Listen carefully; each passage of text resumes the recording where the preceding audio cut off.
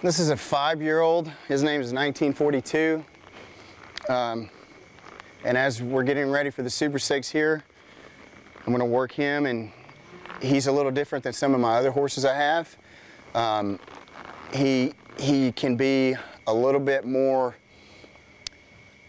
you know, I guess sensitive to things. Meaning, if you amp up the pressure too much, it can overwhelm him really quick.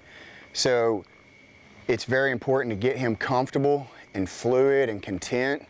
Um, and so I'm going to kind of go through a couple little things that I always try to do um, to get him into that mental stage uh, of being content and comfortable and confident.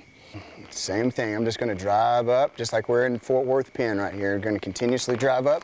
Now that cow's taking hold of me. And we're to stop.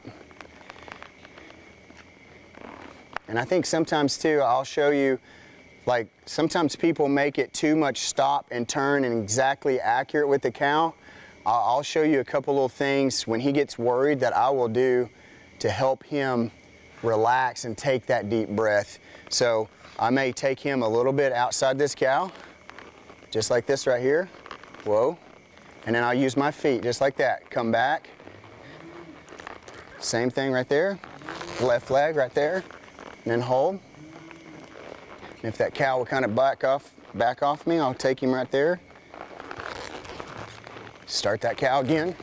Did that. The first time I did that, he was a little up. And as I did that, he started to soften up and soften up and melt and get lower and get lower, get lower, softer.